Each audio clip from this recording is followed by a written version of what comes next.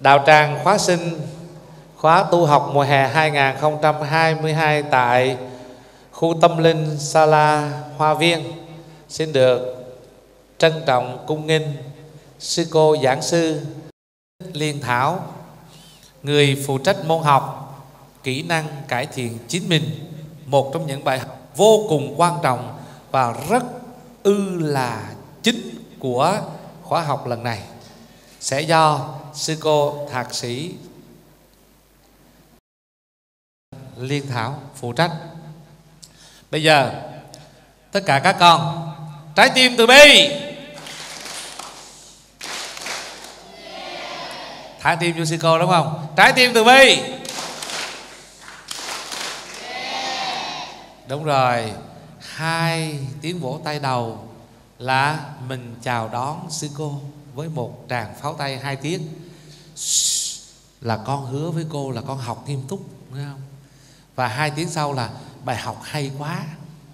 Và cuối cùng là con xin tặng cô trái tim của con. Sala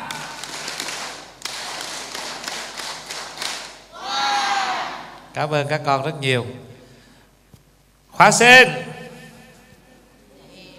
Lương Vâng à, Xin giới thiệu tất cả các bạn khóa sinh. Đây sư cô thích nữ Liên Thảo Trụ trì tu viện Cát Tường à, Đức Hòa tỉnh Long An. Một con đường rất xa đến với Long Thành Nhưng sư cô cũng đã không quản ngại Vì cái tinh thần tương lai của tất cả các bạn trẻ cho nên sư cô cũng đã không quản ngại rất là hoan hỷ. À, mặc dù là hôm qua sức khỏe cũng có chút à, à, có chút sự cố nhỏ nhỏ, nhưng mà đã vượt qua để đến đây với ờ, các bạn trẻ chúng ta trong khóa tu thì thầy xin thay mặt ban tổ chức trân trọng giới thiệu sư cô đến với tất cả các bạn và bây giờ thầy mời tất cả các xin cung thỉnh sư cô và tất cả các bạn chúng ta cùng chấp tay để niệm Phật cầu gia bị trước khi bắt đầu buổi học kỹ năng chiều hôm nay. Nam mô Bổn Sư Thích Ca Mâu Ni Phật. Nam mô Bổn Sư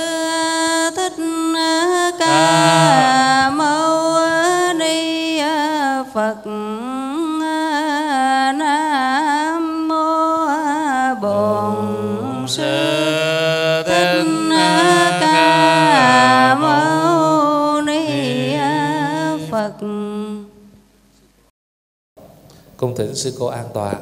Em mời đại chúng ờ, ngồi trong tư thế thả lỏng nhưng mà cũng trang nghiêm để bắt đầu buổi học. Hãy thờ Phật. À, Nam mô Bổn Sư Thích Ca Mâu Ni Phật. À, chúng con kính chào à, thượng tọa trưởng ban tổ chức, kính chào tất cả các à, anh chị huynh trưởng trong ban tổ chức và cô thân chào tất cả các em tu sinh khoa tu năm 2022. À, chúc các con một à, khóa tu thật an lành và hạnh phúc. À, Ờ, hôm nay chúng ta đến với nhau với một bài học ờ, đơn giản thôi nhưng nó là một hành trang rất quan trọng ờ, đối với tất cả chúng ta. Các bạn cũng như quý cô quý thầy tất cả mọi người đều có một cái hành trang để vững chãi bước chân vào đời. Thì chúng ta đòi hỏi có một cái kỹ năng gọi là cải thiện chính mình. À, tu học tu cũng là cải thiện chính mình. Bởi vì cải thiện là một sự sửa đổi một sự sửa đổi nếu như chúng ta hoàn thiện rồi thì chúng ta không phải ngồi ở đây mà một người hoàn hảo á, thì à, vì đó đã là bậc Phật hoặc là thánh rồi, thánh nhân rồi. Còn chúng ta gọi là nhân bất thập toàn. Tức có nghĩa rằng là à, một con người thì không thể nào toàn vẹn hết được. Chúng ta sẽ có những điều sai sót để cuộc sống này hoàn mỹ hơn, hoàn thiện hơn thì đòi hỏi chúng ta phải có kỹ năng sống. À, mà kỹ năng sống là chúng ta đòi hỏi phải hoàn thiện chính bản thân mình trong mọi lĩnh vực. Hôm nay các bạn trẻ là những người đang tìm và định hướng cho tương lai của mình. Định hướng cho tương lai của mình sống như thế nào để có một tương lai tốt thì tất cả các con đều là những người đang tìm cho mình một lối đi mà một lối đi đó chưa hẳn đã là của cha mẹ mình chưa hẳn đã là của anh chị mình. Mà hướng đi đó là hướng đi riêng của mỗi người để phù hợp với uh, căn cơ với hoàn cảnh với cuộc sống của chúng ta. À, thành ra à, tất cả chúng ta nên là có một cái kỹ năng sống để chúng ta hoàn thiện bản thân hơn. Thì tại sao chúng ta phải hoàn thiện cái bản thân mình? À, tại sao chúng ta phải hoàn thiện bản thân mình? Cô đứng dậy cô nói theo bạn cho các con thấy luôn. Đây. Thì hoàn thiện chính mình khi mà mình bản thân mình còn những cái khập khiển như cô nói là nhân bất thập toàn đó đó à, còn những cái khập khiển mà chúng ta chưa tròn vẹn được à, thì chúng ta phải tìm mọi hoàn cảnh mọi phương diện mọi lĩnh vực để chúng ta là một người như ý như ý đối với bản thân mình và phấn đấu để hoàn thành trách nhiệm của người con đối với cha mẹ, của người à, cháu đối với ông bà, của người công dân đối với đất nước, vân vân. Thì chúng ta phải hoàn thiện chính mình để cuộc sống này ngày một tốt đẹp hơn. Tất cả các bạn tu sinh ở đây là mầm non của đất nước, là mầm non của đất nước, là đứa con ngoan của gia đình. Chứ nếu như cha mẹ của các con sinh các con ra mà không hy vọng gì cả rồi là cứ nghĩ rằng là sau này nó trở thành đứa con hư thì lúc đó khỏi cần phải hoàn thiện chính mình gì nữa, phải không ạ? Đó, cho nên đó là cái lý do chúng ta phải hoàn thiện chính mình. Mà hoàn thiện chính mình, việc quan trọng và căn bản. Người ta nói, có cái câu sao ạ? Gần mực thì đen, gần đèn thì sao ạ? Thì sáng hay thì thì ràng gì đó cũng được, ha? Tại vì sao mình gần mực thì đen mà gần đèn thì thì sáng? Bởi vì cái tâm của mình còn yếu còn kém. Cho nên á, là khi mà mình gặp phải những cái việc xung quanh mình nó tác động vào thì chúng ta lại bị nhiễm theo rất là nhanh. Đó bị nhiễm theo rất là nhanh. Cho nên cô mới nói là phải chọn bàn mà chơi là như vậy. À, trong những cái người bàn mà chúng ta chuẩn bị để tìm thấy à, chúng ta nhận định xung quanh chúng ta nhận định xung quanh chúng ta, thì chúng ta hãy xem những người bạn của mình đó, những người xung quanh mình đó có phải là bạn hay không. Nếu các con nhìn thấy cái người mà có cái, gọi là, người ái kỵ hay là hung hăng, ái mà kỹ mà hung hăng, có nghĩa là như thế nào? Họ yêu thích cái bản thân họ họ thương cái bản thân họ họ có sự ích kỷ. À và họ, nếu hề đụng tới những điều gì của họ ví dụ như mấy bạn đi học với nhau đi kho tù này đôi dép của mình và bạn đấy mường đỡ thôi.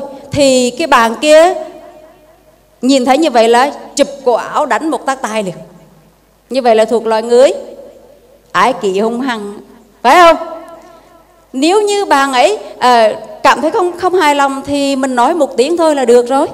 À, bạn bạn đừng đừng mang dép của mình để mình đi đâu đó ví dụ vậy. Nhưng mà không người ta mang sọ đôi dép của mình là mình chụp cổ áo lên quấn một tác tài liền thì như vậy là thuộc ái kỷ hung hăng này này. Nên tránh xa những con người đó dùng. Tại sao phải tránh xa? Sau này đến một lúc nào đó, các con đủ năng lực khá hoàn thiện rồi thì mình nên gần những con người đó để làm gì ạ? Để làm gì ạ? Giúp đỡ họ cùng hoàn thiện với với mình. Còn nếu như bây giờ mình còn thuộc dạng gần mực thì đen gần đèn thì sáng thì mình phải tránh xa con người đó ra. Không thôi đánh mình gãy răng á. Thấy không? À. rồi đi tiếp theo. À, là bạn bạn mà bằng thù. Bạn thù có nghĩa là sao? Nó ghép từ à, frenzy. À frenemy đó là ghép cái từ friend là bạn bè và enen à, in, enemy là kẻ thù. Hai cái từ này ghép chung lại thành là bạn mà bạn thù. Có nghĩa là như thế nào? Cái người này á, ví dụ như hai bạn nữ, hai bạn nam với nhau, chơi với nhau, nhưng thấy cái bạn này học giỏi hơn một chút á, thì sao ạ? À? tức, đúng rồi, bạn này đúng. Nói đúng, tức. Có bao giờ con tức chưa? Tức. Ờ cay gai mắt đúng không? Ờ đúng rồi gai mắt. Tức là cho bạn này tràng pháo tay đi các con. bằng bạn đó tức là đã từng trải. Tức là thấy người ta học giỏi hơn mình là gai con mắt, tức, khó chịu. Là vì sao ạ? Vì trong lòng mình có một chút ghen ghen tị. Ủa, tại sao? Có nhiều khi vậy này nhiều khi các con đi học, mình siêng năng học tập lắm. Nhưng mà tới lớp á, thì sao ạ? À? cái bạn đó lên trả bài lúc nào điểm cao hơn mình hết á mình cho rằng là cô giáo và thầy giáo là thiên vị. Nhưng trong thực tế đôi lúc á, cái lời nói của mình á, đọc cái bài tập đọc, mà lời nói của các con, cái lời đọc ra nó không được truyền cảm, phải không? Không được truyền cảm, hoặc là mình ngắt câu không đúng. Đồng ý là mình thuộc bài, nhưng mà mình ngắt câu không đúng, thì cô giáo sẽ trừ điểm. Còn lúc đó, trong lúc đó bạn kia, bạn đọc cũng đúng giống như mình, cũng thuộc lòng như vậy, nhưng bạn ấy ngắt câu đúng và có sự diễn cảm nữa ví dụ như kể một câu chuyện ngày xưa ngày xưa có một anh nông dân rất nghèo khổ. Người ta nói như vậy mới ra câu chuyện. Còn mình ngày xưa ngày xưa có một anh nông dân rất là nghèo khổ. Như vậy theo các con chấm điểm thì người nào điểm cao hơn? Cái người mà biết kéo dài đó biết lên xuống biết dùng âm lượng của mình à, tiếng nói của mình và năng khiếu của mình để kể chuyện. Đó. Mình đừng có vội vàng à, đánh giá là cô giáo thầy giáo đó là cái người thiên vị và mình tâm mình ganh tị nổi lên thế nào mình về mình mình cũng kiếm chuyện với bạn đó. Thì mình thuộc dạng người bạn mà bạn thù này. Dạ, Đã, bà bạn thù. Rồi tiếp theo là chúng ta xem từ cái người bên cạnh mình. Cô đang nói với các con là người bên cạnh mình. Chứ cô chưa nói là người bạn nha người bên cạnh mình. Người hay phàn nàn tiêu cực. Người mà hay phàn nàn tiêu cực á ví dụ như nhà bạn đó giàu lắm. Nhưng mà à, cô giáo vừa lên nói rằng là chuẩn bị đi làm một cái việc từ thiện gì đó để giúp các bạn nghèo hơn ở là vùng sâu vùng xa gì đó là bắt đầu bạn đó sao ạ? Rên. Qua nhà mình mưa dột quá trời luôn không có ờ, tiền mà giảng tôn lại nữa. Không ai nói gì hết á tự nhiên rên thôi. Rên rỉ. Thì cái rên rỉ này là họ họ hay có những cái tâm niệm họ sờ rằng là người ta à, kêu mình phải đóng tiền đi à, đóng nhiều đi hay vân vân các thứ. Cho nên là có sự phàn nàn một cách tiêu cực. Có sự phàn nàn một cách tiêu cực. Đó. Thành ra là những cái người này này họ không dấn thân vào giúp đời thì thôi họ còn có những sự phàn nàn đó thì những người như vậy khó khi mà giúp đỡ ai lắm. Mà các bạn biết rồi đó mình á, là còn trong cái à, còn trong cái người mà gọi là nhân bất thập toàn đó đó. Cho nên à, chúng ta đòi hỏi cần phải xem từ người bên cạnh mình như vậy có nên kết bạn với họ hay không. Đó thấy không? Vì sao như vậy? Bởi vì những cái con người này họ sẽ giúp cho chúng ta cải thiện chính mình vì gần mực thì đen, gần đèn thì sáng mà. Mình từ ban đầu mình không có rên không có than vang, phàn nàn mọi thứ. Nhưng mà chơi thân với một con người mà hở đâu rên đó như vậy á, thì sao ạ? Mình sẽ bắt chước theo, bắt chước theo. À. rồi, tiếp theo là cái người mà cám dỗ kịch hóa cuộc đời. Cám dỗ và kịch hóa cuộc đời. Tức là cái người này thường xuyên thấy bạn đó có cái gì? Hoặc là ra cuộc sống sau này các con lớn lên cũng vậy. Thấy ai đó có cái gì là hay rên khổ. Để làm gì? Thấy người ta có cái tâm thiền thì dù dỗ người ta để giúp đỡ cho mình. Rồi mình bằng mọi cách để giúp để uh, lừa lừa lừa cái người kia để hỗ trợ giúp đỡ cho mình. Rồi làm cho cuộc đời không thật như vậy mà trở nên như vậy để là để đem lại sự lợi ích cho họ thì những cái con người tuyệt đối các con đừng kết bạn. Nhớ chưa? Đó là cách để các con cải thiện chính mình đó. Vì những người bạn này các con chơi gần các con sẽ xấu theo mà thôi. À, sẽ xấu theo mà thôi. Đó. Bây giờ à, chúng ta đi tiếp những cái phần nhỏ. Các con thấy rằng là trong cái tình bạn á, thì chúng ta làm sao? Khi mà chúng ta chọn một cái người bạn là tình bạn dựa trên sự tin tưởng lẫn nhau cái bạn đó thật sự như vậy. Có tình cảm với mình mà tình cảm này chân thật với nhau hỗ trợ cho nhau giúp đỡ cho nhau. Chứ còn nếu như à, cái bàn này mà mình nhìn vào mình chả tin tưởng gì và họ chính bản thân họ cũng chẳng tin tưởng gì mình thì những người này không nên không nên kết bạn. Đây. Rồi cái tình bạn thì không có ngày hết hạn. Ví dụ như cái khăn này ví dụ như cái khăn này mấy con thấy nó có hàng sử dụng không? Có chứ. Khăn này có bà hàng sử dụng. Nước uống có hàng sử dụng không? Có. Nhưng mà đã là bạn á thì không có hết hàng. Không có hết hàng sử dụng. Ngày xưa có một chuyện rất là buồn cười. À, có một cái vị kia họ tu theo cái gì thì không biết. Nhưng mà họ đã từng nói và họ lên trên mạng xã hội họ nói luôn là Phật Thích Ca đã hết hàng ở cái cảnh giới này rồi. Ủa, làm Phật cũng có hết hàng sử dụng nữa sao? Cho nên, cô nói cho vui, các con nghe và có thật, người ta tuyên bố như vậy. Nhưng với tình bạn của các con, thì chúng ta hãy chọn bạn thích hợp, phù hợp với mình để có cuộc sống tốt đẹp, nương tựa nhau, giúp đỡ nhau để phấn đấu trở thành cái người sáng trong những cái ngọn đèn của cái thế giới này như vậy thì chúng ta không định hướng là tôi chỉ chơi với bạn từ tiểu học cho đến trung học thôi. Còn lên đại học là nghỉ chơi nha, không có chuyện đó, không có chuyện hết hạn. Vì sao vậy? Có những người bạn khi chơi thân với nhau, nhỏ nhỏ như thế này này, mấy con chơi thân với nhau lắm. Nhưng lớn lên sao ạ? Thân quá, ăn chung, mặc chung mặc áo quần chung, mang giày dép chung, đeo bông tai chung. Các con trai thì đội mũ chung, mang giày chung. Nhưng mà có những thứ không thể chung được. Đối các con, đó là cái gì? Tiền à tiền có thể sai chung được. Cái gì ạ? À mấy bạn nói tình yêu cho tràng pháo tay đi. Ồ, tình yêu nó có nhiều loại tình yêu lắm. Không được xài chung, chồng. Không được xài chung, vợ còn tình yêu á, nói về chung chung quá. Ủa, bạn này yêu bạn này, bạn kia yêu bạn này, rồi bạn kia yêu cha, bạn kia yêu mẹ, yêu bạn bè, yêu bà con, yêu xóm giềng, yêu đất nước. Dùng từ tình yêu không là không đúng hay không? Tình yêu rất là rộng. Nhưng mà cái gì xài được, bạn bè cái gì xài chung được? Uống có thể uống ly nước chung được. Hai đứa thân nhau mà. Đứa này uống nửa, đứa kia uống nửa. Nhưng có cái không thể xài chung đó là vợ chồng với nhau. Bởi vì trong đạo Phật chúng ta à, Đức Phật cũng đưa ra cái vấn đề là hãy tôn trọng hạnh phúc một vợ một chồng đó. À là không được. Dạ. Ai biết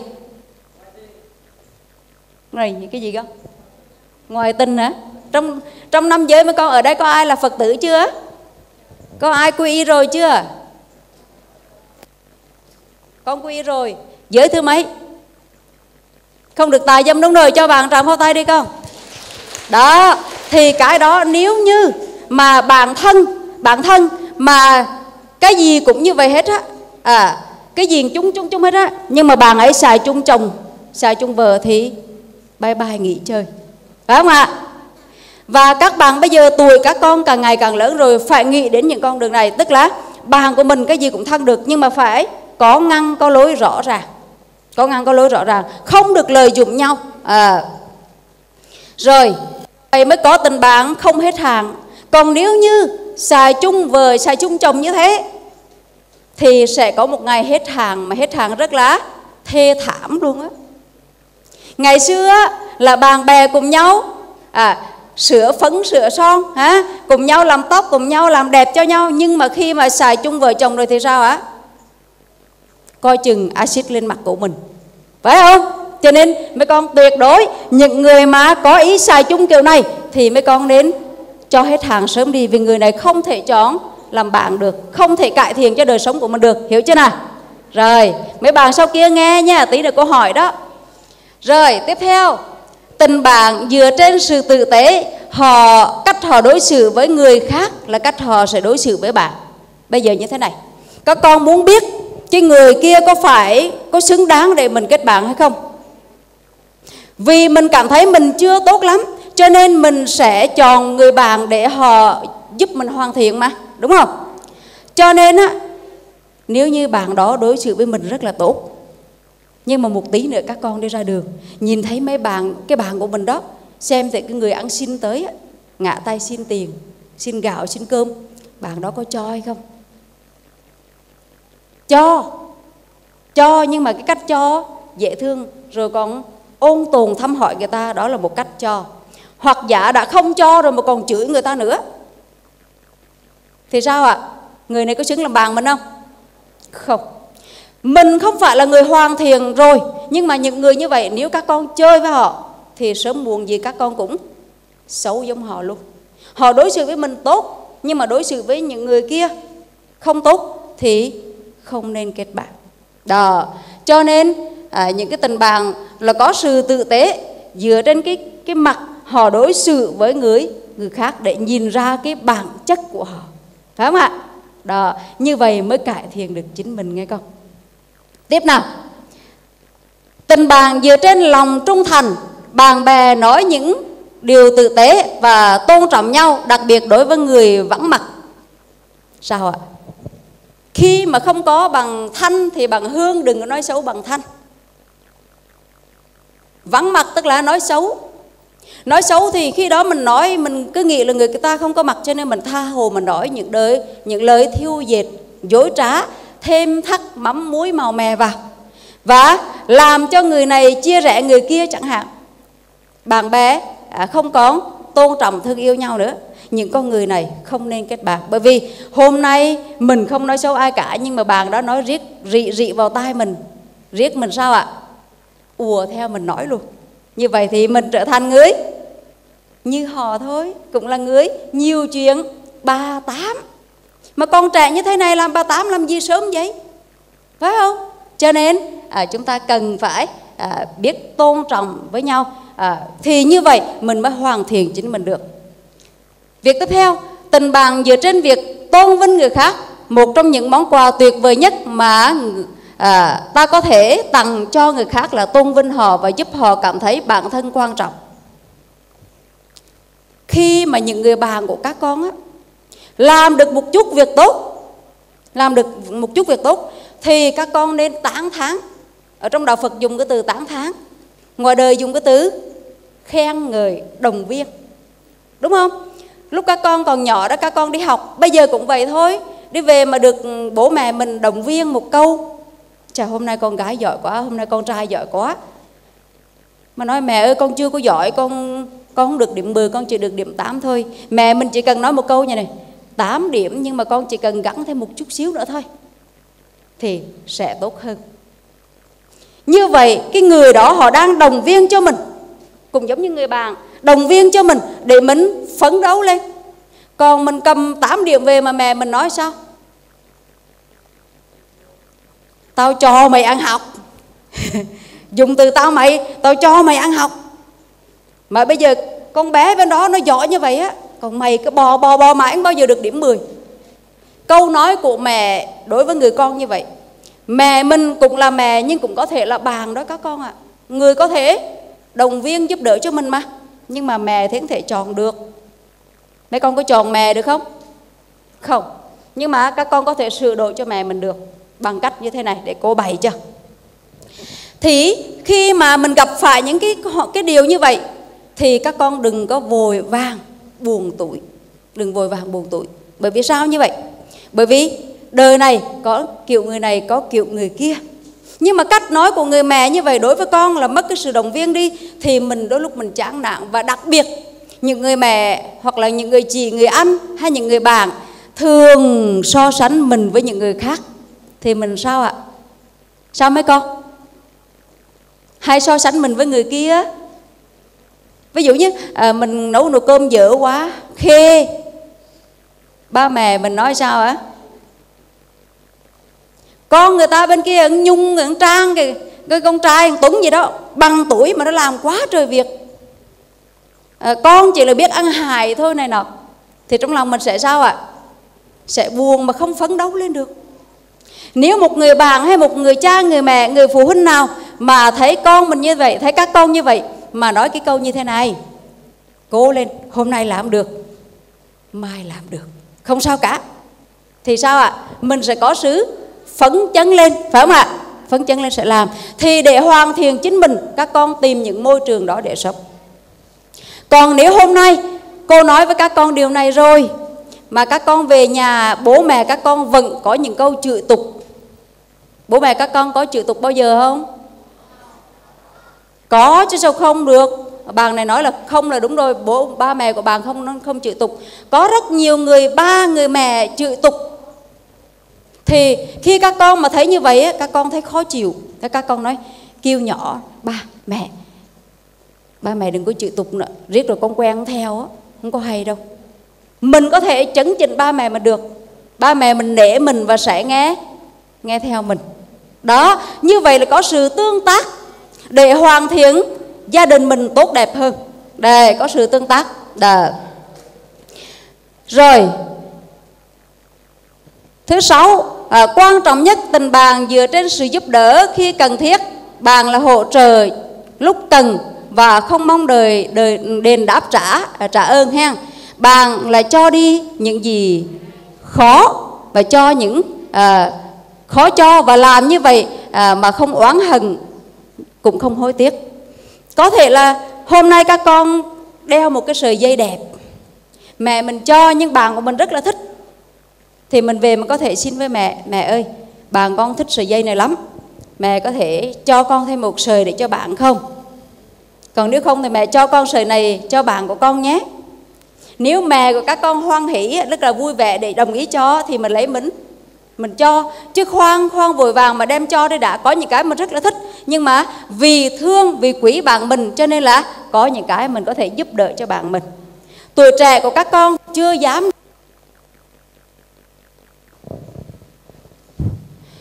nhưng mà sau này lớn lên á chúng ta có thể giúp đỡ cho nhau những điều mà chúng ta rất là quý.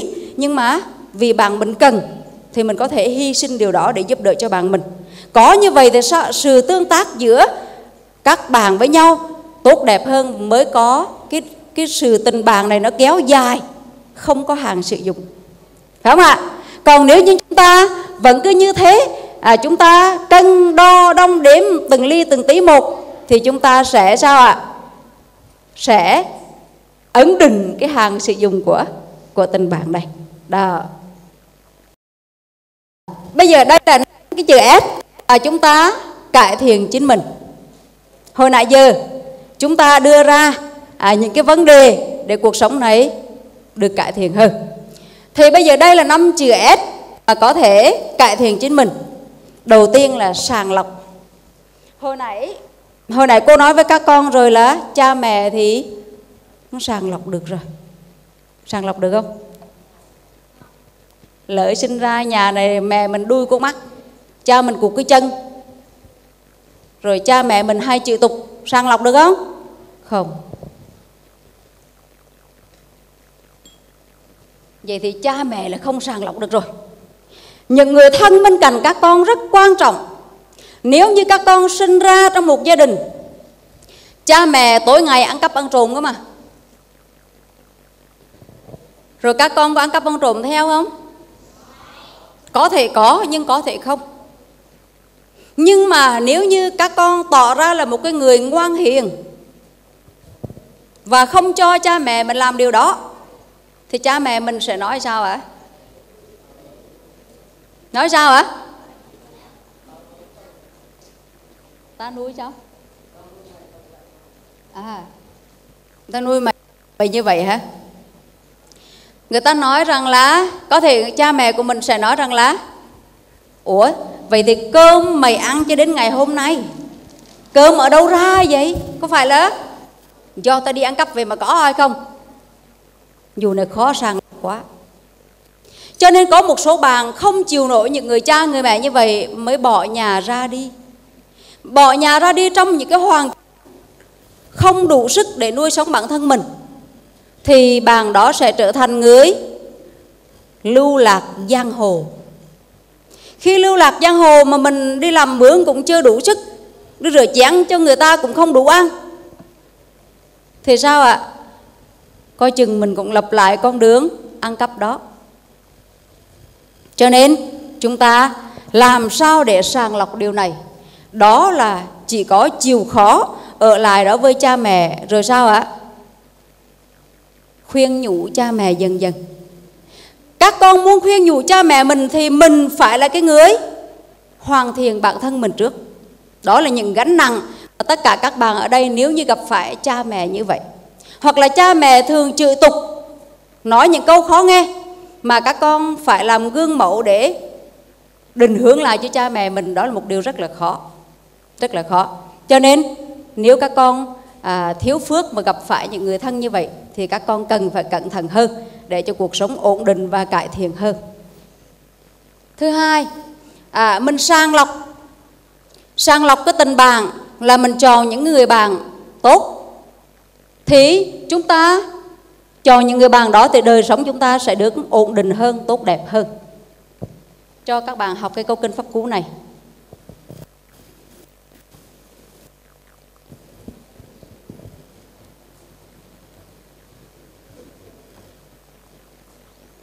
Các bạn đọc theo cô và thuộc tại lớp nha. Nếu tìm không gặp bạn, hơn mình hay ngang mình thà quyết sống một mình, chớ thân cần kẻ ngu nếu tìm không gặp bạn, hơn mình hay ngang mình thà quyết sống một mình. Chớ thân cần kẻ ngu. Đọc thêm một lần nữa là thuộc tài lớp nha. Nếu nếu tìm không gặp bạn, hơn mình hay ngang mình thà quyết sống một mình, chớ thân cần kẻ ngu ai thuộc bài rồi? Ai thuộc bài? Đưa tay lên đi ạ. Đâu có phần thưởng này?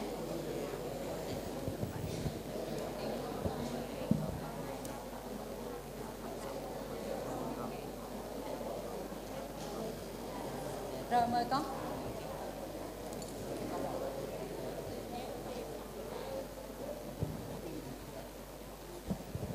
Ờ, dạ thưa cô là nếu tìm không gặp bạn kẻ hơn mình hay ngang mình ờ, kẻ, kẻ hơn mình hay ngang mình thà quyết sống một mình chứ không thân cần kẻ ngu.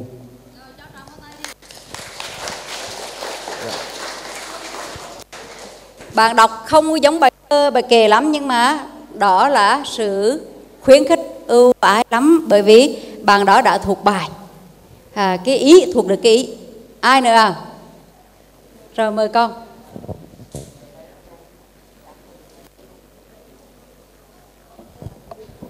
Dạ bố Phật thưa cô con xin đọc bài. À. Dạ mô Phật. Dạ thưa cô là nếu tìm không gặp bạn hơn mình hay ngang mình thà quyết sống một mình chớ không cần kẻ ngu. Phật thưa cô ạ.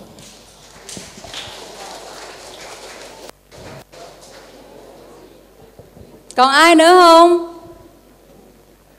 Mời con trai. Ủa thôi toàn con trai không vậy? Đâu con gái đâu? Rồi mời con. Giỏi vậy.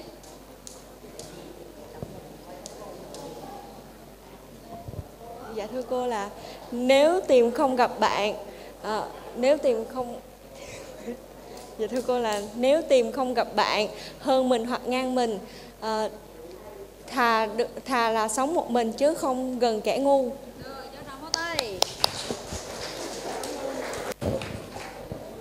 Bạn nữa hả? Rồi mời lên lớp. Chù giỏi quá, lớp này giỏi quá à. Thêm một người này nữa thôi nghe để câu khác. Dạ mô Phật con đọc ạ. Dạ nếu không tìm được bạn à, hơn mình hay ngang mình hơn mình hay ngao mình uh, thà quyết sống một mình chứ không cần kẻ ngu. Giỏi quá, thôi được rồi, cảm ơn con, cảm ơn các con nhiều lắm luôn á, giỏi quá. Một tí nữa chúng ta học bài khác nha. Rồi. Bây giờ chúng ta đi tiếp theo là chúng ta sắp xếp. Sau khi chúng ta chọn lựa, chọn cho mình một người bạn, à, những người bạn xung quanh chúng ta chúng ta nhận định rằng những người thân cần chúng ta có đáng được chọn làm bạn hay không? Và chúng ta sắp xếp lại. Những người nào đáng chơi những người nào không đáng? Không đáng chơi bạn nào có tâm ganh tị đố kỵ nên tránh đi các con. Sau này làm chung với mình một cơ quan làm chung chỗ này chỗ kia đều có sự ganh tị đố kỵ cả. Và ganh tị đố kỵ là một điều rất là xấu à, trong cái sự mối quan hệ giữa bạn bè.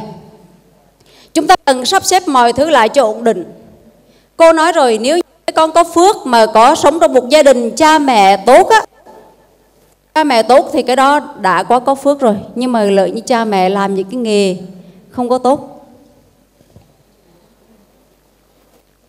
Hồi nãy thầy giới thiệu với các con là cô cũng được khỏe rồi. Cô cũng nói thật là cô đang không được khỏe. Nhưng mà thấy mấy con à, thấy mấy con học tốt quá cho nên cô cũng cười. Chứ thực tế là cơ thể không được khỏe lắm cho nên phải uống nước đường, thấy không? Mấy bạn giỏi lắm. Một cái câu kinh pháp cũ đọc có ba lần thôi là thuộc lòng. Tài lớp rất là tốt luôn. Bây giờ chúng ta đi tiếp cái vấn đề là chúng ta sắp xếp. Hồi nãy chúng ta nói rằng là trong hoàn cảnh cha mẹ, anh em, họ hàng, bà con là mình không không chọn được rồi. Cho nên chúng ta cần phải hoàn thiện chính mình trước để hỗ trợ cho họ nếu như à, gặp phải những cái gia đình không tốt còn gia đình tốt thì đó là sự ảnh hưởng rất tốt đối với mình rồi. Còn bạn bè thì các con phải tự chọn cho mình những người nào cần cần được kết bạn. Nhớ là kết bạn đừng có để bạn hết hạn. Ở đời người ta có cái câu sao ạ? À? bà thơ gì về tình bạn nhỉ? Đây. Mấy bạn nhìn trên, trên máy chiếu kìa cô cho mấy bạn cái bài thơ bằng điểu rồi, thấy không? Miệng lưỡi đâu biết mà lường âu cũng chấp nhận thói thường ai hay. Cuộc đời có trả có vay bạn bè ném đá dầu tay làm giấu tay làm gì? Cuộc sống gặp gỡ mấy khi đừng nên tư lời những gì nhỏ nhen. Tiền tài ai chẳng bon chen việc gì phải giữ trò hèn với nhau. Đó là bằng điểu bằng điều thì có nên chơi không? Lọc ngay. Bye bye hey, goodbye mà không có. See you again. Phải không? Đó. Những người bạn vậy thì chúng ta nên sàng ngay lập tức. Phải không? Tiếp bài thơ bạn nữa. Bạn tốt coi đây. Ta là bạn và suốt đời là bạn. Dẫu thời gian trang chứa mỗi duyên thừa mình và cầu đâu có những chiều mưa hay nhớ nhung khi gió thu vừa đến. Nếu cầu buồn, mình sẽ ở cạnh bên, đem cho cầu đôi ba lời chia sẻ. Với tâm lòng và một câu mắng nhẹ, mạnh mẽ lên không lẽ cứ khóc hoài. Mình với cầu chỉ có thể vậy thôi. Nếu tóc cầu gió vô tình làm rối, mình sẽ mắng gió đi đâu mà vội, rồi đôi tay cầu sẽ vuốt tóc mềm. Đó là những người bạn chia sẻ cùng nhau. Cái này nên kết bạn. Đó. có khi bạn mình làm những điều sai hoặc là yếu đuối quá, con trai mà yếu quá, thì sao ạ? Các bạn gái sẽ mắng bạn trai ra sao? Con trai phải trường phu lên. Không, đừng có mắng bd chứ ai mắng bd cái bd đó mấy con biết khi mà mình mắng gì người ta sẽ tự ái lắm á. À, một người một cái nghiệp bị bd hay ô môi diễn ai muốn cả có con. Cho nên là đừng có kỳ thị điều đó. À nhưng mà mình nói con trai phải mạnh mẽ lên à, phải phấn đấu lên vân vân các thứ thì mình mới à, mới làm mới hoàn thiện bản thân mình được chứ. À, cho nên các con cần phải nâng đỡ nhau bằng lời nói. Có khi cái vuốt tóc nhẹ nhàng của mình mà bạn mình sẽ được sự an ủi, vỗ về, dễ thương. Đó, động viên như vậy. Chứ mình cũng bằng bạn, mình cũng có thể là cho bạn tiền hay cho bạn nhà cửa, ruộng vườn gì cả, bởi vì mình không có. Nhưng mà mình có thể giúp đỡ cho bạn mình bằng cách sao ạ? Hỗ trợ bằng lời nói, sự vuốt tóc hay là cầm tay để nói chuyện nâng đỡ bạn qua những cái hành vi cử chỉ lời nói của mình để cho bạn mình cảm thấy ấm lòng và mạnh mẽ để vượt qua những cái những cái khúc khó khăn trong cuộc sống. Phải không ạ? Đó. Sàng lọc xong rồi á, đó là sàng lọc bạn bè. Tiếp theo là mình làm gì? Lưu lại nữa con. Đây. Thứ ba là sạch sẽ. Năm chết mà. Sạch sẽ. Sạch sẽ là sạch làm sao đây? Cái sạch sẽ ở đây là sạch từ thân mà đến đến tâm của mình nghe các con. Ví dụ như là mấy bạn này ăn mặc rất là đẹp.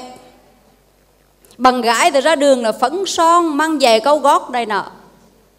Nhưng nhưng mà mấy cái đồ đó làm gì ở đâu ra vậy? Vô siêu thị.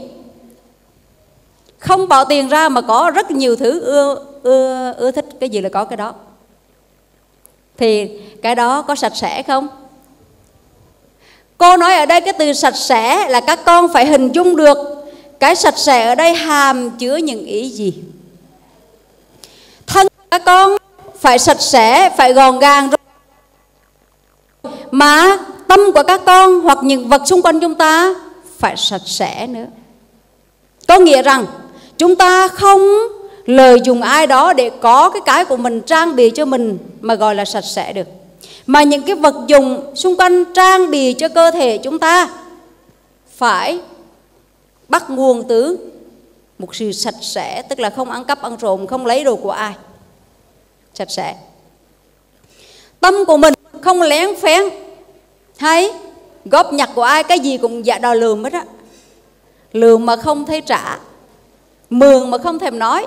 Đây, thì chúng ta không sạch sẽ cho nên cái sạch sẽ ở đây là sạch sẽ từ thân đến tâm. Về nhà, con, gần đây các con có coi ở trên mạng xã hội có một cái cái phòng trò của một cái bạn gái. Ờ, ở trong phòng trò một năm rưỡi trời chưa bao giờ đổ rác không? Có coi cái cái cái clip đó không? Cô có coi đó. Có người đưa cho cô coi, cô nói, ở đâu ra vậy? Nó con gái bước ra đường ăn mặc rất là đẹp phấn son rất là đẹp. Một năm rưỡi không đổ rác. Trong của bàn đó nhà cho đến ngày bỏ đi á, trả phòng luôn á, là coi như rác nó chất ở trên cái mùng luôn các con. Hộp vân vân các thứ. Hết pin rồi. Bỏ đầy bỏ đầy phòng luôn. Cho nên chất đầy như vậy thì bàn đấy rất là dơ. Ở rất là dơ nhưng ra ngoài nhìn trông có vẻ sạch sẽ như thế. Nhưng mà thực tế bạn ấy rất là dơ. Dơ trong thân rất là khi mà dơ trong thân rồi á, thì cái thân này nó dơ như vậy là xuất phát từ tâm của bàn đó, chả sạch sẽ gì cả. Gọi là tâm nó sinh tướng đó mấy con. Có cái người nào mà làm biếng tắm á mà nó hôi hám á. Ở gần, bịt môi lại, không chịu nổi. Ai đến cũng tránh xa, đứng gần là tránh xa. Thì ngay chỗ đó mình biết rằng cái bạn này, ngay cả bạn thân bạn mà còn thương, không thương chính mình, thì đừng có nói chuyện thương ai. Phải không? Như vậy tâm bạn đó chưa có sạch sẽ. Tâm cái người đó chưa sạch sẽ. Cho nên tất cả các con mình chỉ cần nhìn người đó, sống có sạch hay không? Có biết chăm lo cho mình hay không? Thì biết tâm người đó có sạch hay không?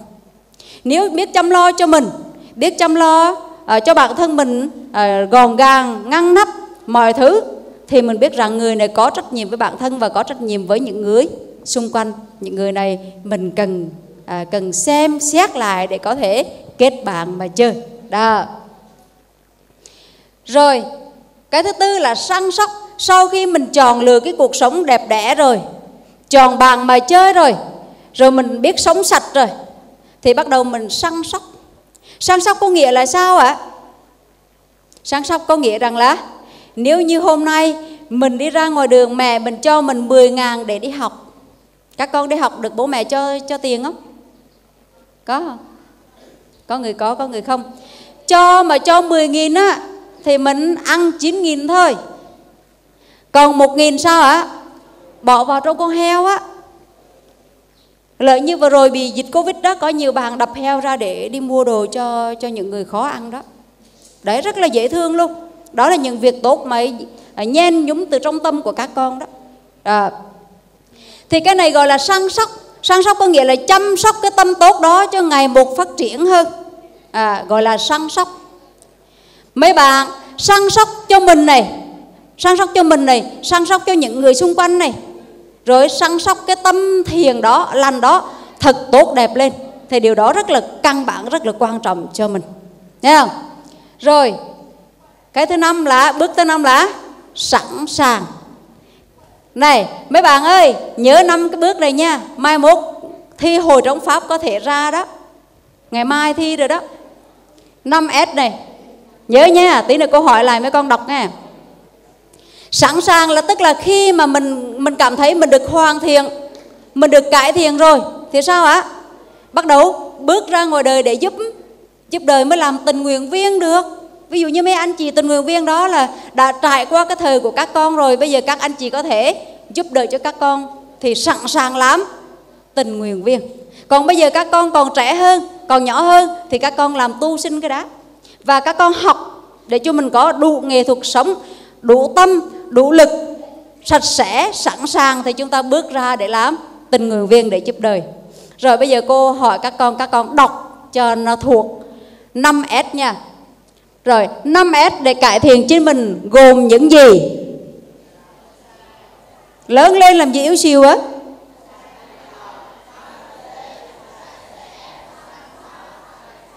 Rồi ngày mai á, trong hầu trong pháp có thể là có câu này để ra thi đó nhớ nha. Nhớ cho thuộc nha thuộc bài nha. Con nghĩ rằng là các con nên có những cái viết những cái à, bút viết bút à, và tập vở trong quá trình học như thế này để ghi chép lại. Ừ. đó. Thì năm cái này là giúp đỡ cho chúng ta để cải thiện với chính mình. Rồi bây giờ là quay về nhận diện rác và gom rác đổ rác. Đây đây là cái phương án để chúng ta tiếp tục đi trên cuộc sống của mình này. Phương án phương án để tiếp tục đi trên cuộc sống của mình là quay về nhận diện gom rác và đổ rác. Cô nói như vậy có nghĩa là một tí nữa các con ra ngoài là đi xem rác có bao nhiêu lườm hết rồi đem ra ngoài đổ, vậy là xong nghe. Cô đang nói là phương diện này để chúng ta hoàn thiện chính bản thân mình đó mấy con thấy hình ảnh của một người ngồi thiền không? Rồi tất cả các bạn tu sinh lưng thẳng lên coi, ngồi thiền thử coi. Bây giờ mình kiểm điểm hồi nãy giờ, cô nói ở trên này mình nghe được bao nhiêu? Ai dưới đó ngồi nói chuyện với nhau kìa? À thì từ kiểm điểm lại xem, nãy giờ các con nghe được bao nhiêu? Có thật sự là, hay là tâm mình toàn cả đống rác trong á? Nãy giờ người ta nói cho mình một nghề thuật sống để cải thiện chính mình Mà mình ngồi mà nói chuyện bà tám, bà A, B, C, D Nói xấu đứa này, nói xấu đứa kia Thì mình đang gom cho mình một đống rác Vô cùng ô uế mà thúi Thúi kinh khủng luôn luôn á. Đó. Thì đây muốn nhận diện xem thử có rác ở trong mình không Thì mấy bạn ngồi hít thở cho cô Thẳng lưng lên nào. Hít vào thật sâu thở ra hết bằng mũi, thở bằng miệng nào hết vào. Hết vào, thở ra. Xem thử, rồi chiêm nghiệm lại xem. Từ sáng đến giờ, mình đã làm điều gì xấu? Có nhiều bạn đơn giản, chỉ là một cái rửa tay thôi. Không biết mấy bạn gặp trường hợp này chưa nha? Cô hỏi mấy bạn mấy bạn gặp trường hợp này chưa nha? Ra rửa tay xong không có cái khăn lau tay bình thường mình với bạn đó không có thân thiện gì nhau hết á. Nhưng mà cái tay mình ướt, mình sao? Đó, bạn này rất là tâm lý luôn. Hỏi gì bạn cũng trả lời được hết á. À tức là gì đâu tới vuốt vuốt, mày có khỏe không? Mày có khỏe không? Thật ra là mình đang làm gì? Lau tay. Đúng không? Đúng không? Đúng không? Cho tràng phao tay đi. Bạn này cô khen con đó. Nãy giờ con trả lời cái gì cũng đúng hết trơn á bạn đã từng trải. Đó, là như vậy thì ngồi lại để suy nghĩ rằng hôm nay mình có làm điều đó không? Hay mình ghét cái bàn kia, mình ra mình đá đôi dép cho văng ra ngoài tìm cho bỏ ghét. Thì đó là rác trong tâm của mình đó. Thì mình phải nhận diện nó, gom lại và đổ đi, bỏ đi. Đó là điều cần thiết. Đó.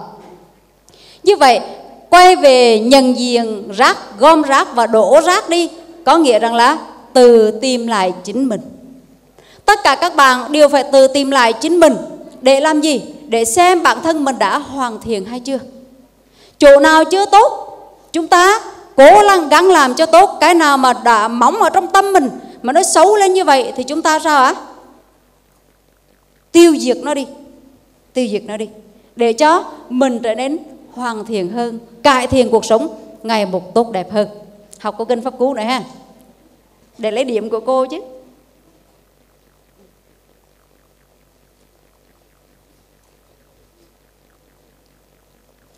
Đây, phù hợp với câu kinh pháp cú 63 Người ngu biết mình ngu. Đọc nào. Nhờ vậy thành có trí. Người ngu cho mình trí. Thật đáng gọi trí ngu. Người ngu biết mình ngu. Nhờ vậy thành có trí. Người ngu cho mình trí. Thật đáng gọi trí ngu. Còn một lần nữa nha. Người ngu biết mình ngu. Nhờ vậy thành có trí. Người ngu cho mình trí. Thật đáng gọi trí ngu. Ai thuộc bài rồi đưa tay lên. Rồi mời con, mời con mắc kiết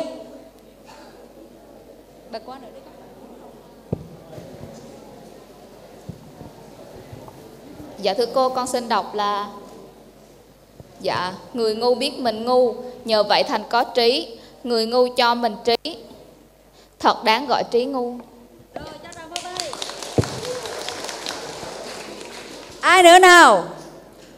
Ủa rồi, hồi nãy con có chưa? Hồi nãy con đọc chưa? Rồi mời con.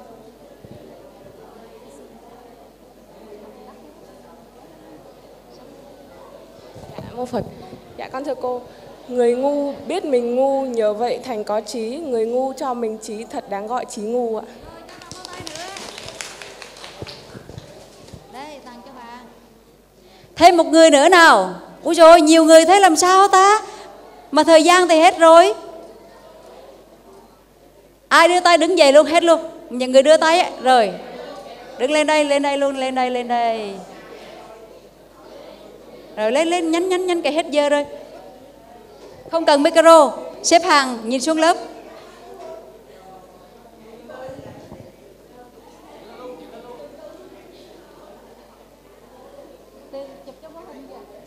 Bằng bằng bằng bằng thấp đứng trước, bằng cao đứng sau.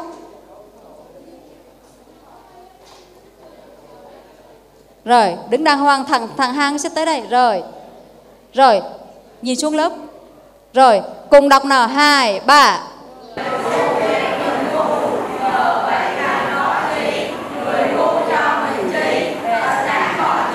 Rồi cho tròn phô tay lớp mình rất là giỏi luôn rồi cảm ơn các bạn đã lắng nghe cô giảng và định hướng cho tương lai của mình có một cái đời sống rất là tốt để cho chúng ta sẵn sàng bước vào đời theo chu trình của 5S để cải thiện chính mình.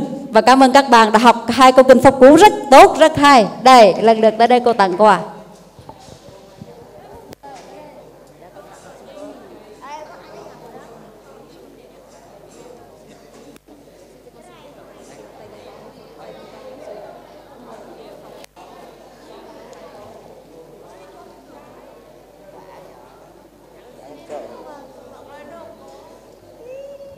Rồi, như vậy thì các bạn nhớ 5S chưa ạ?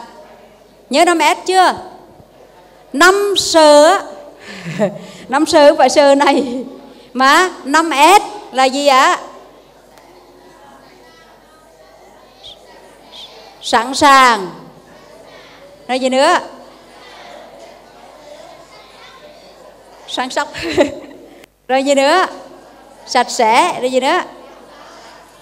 Săn sóc rồi sẵn sàng. Nhớ nghe nhớ 5S nha.